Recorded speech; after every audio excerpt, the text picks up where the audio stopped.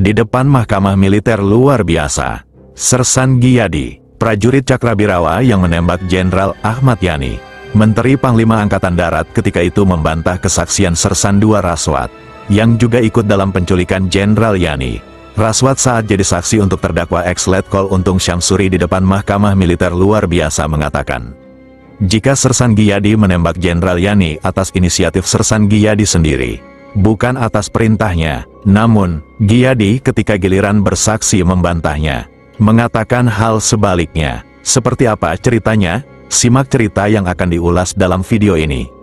Dikutip dari buku, di hadapan Mahmilub II di Jakarta, perkara untung, yang diterbitkan Pusat Pendidikan Kehakiman Angkatan Darat, ketika bersaksi di depan Mahkamah Militer untuk terdakwa ex-letkol untung. Giyadi berumur 38 tahun, Pangkat terakhirnya sersan, sesudah bersumpah sesuai agamanya dan akan memberi keterangan yang benar. Mahkamah memulai persidangan dengan diawali pertanyaan dari Hakim Ketua Mahkamah. Hakim Ketua mengawali pertanyaannya dengan menanyakan kepada Giyadi tentang tugas apa yang diberikan Letudul Arif di pasukan Pasopati kepadanya. Sersan Giyadi pun menjawab, bahwa pada tanggal 30 September tahun 1985 ia diperintahkan untuk konsinyir berat dan pada jam 10 lewat 30 menit. Ia dengan pasukan Cakrabirawa di kompinya dibawa ke lubang buaya. Di sana kami oleh Sersan Raswat disuruh istirahat, kata Sersan Giyadi.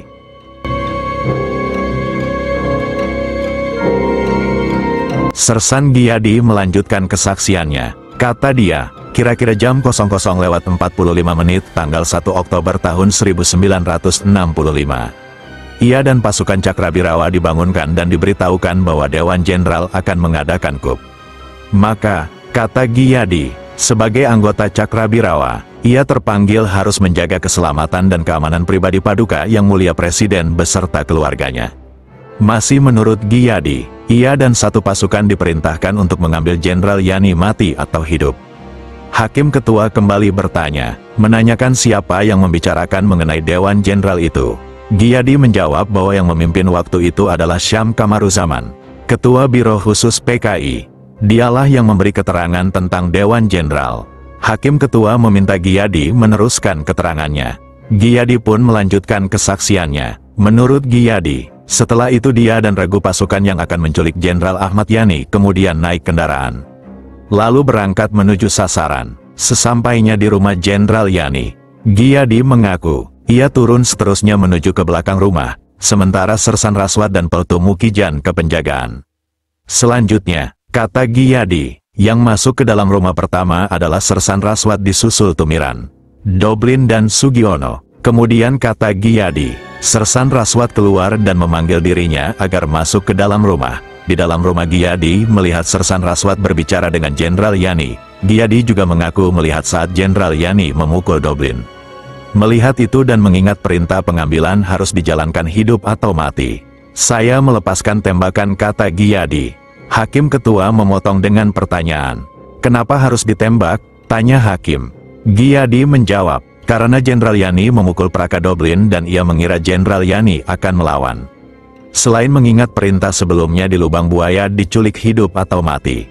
Setelah menembak Jenderal Yani, kata Giyadi, ia keluar untuk melapor. Sementara tubuh Jenderal Yani ditarik keluar oleh Sugiono, Doblin dan Tumiran. Selanjutnya dinaikkan ke dalam bis. Setelah itu segera dibawa ke lubang buaya. Sesampainya di lubang buaya, pasukan turun dari kendaraan. Pasukan lantas diperintahkan untuk istirahat.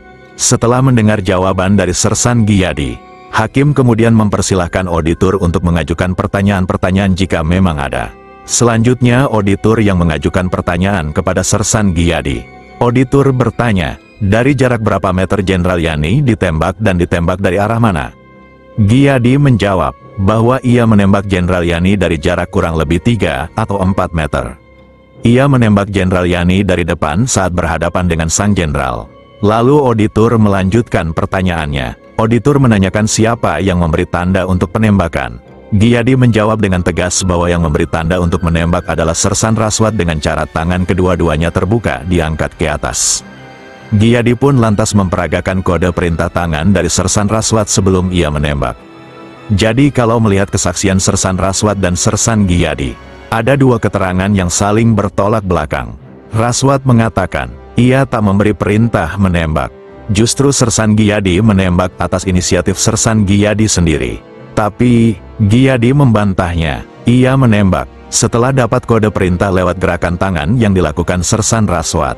Sepertinya, Raswat coba cuci tangan dengan mengorbankan anak buahnya. Dapat dimaklumi, dalam situasi sudah jadi pesakitan. Masing-masing coba menyelamatkan diri, sebisa mungkin menimpakan kesalahan terbesar kepada orang lain. Tak peduli harus mengorbankan dan menyalahkan kawan sendiri.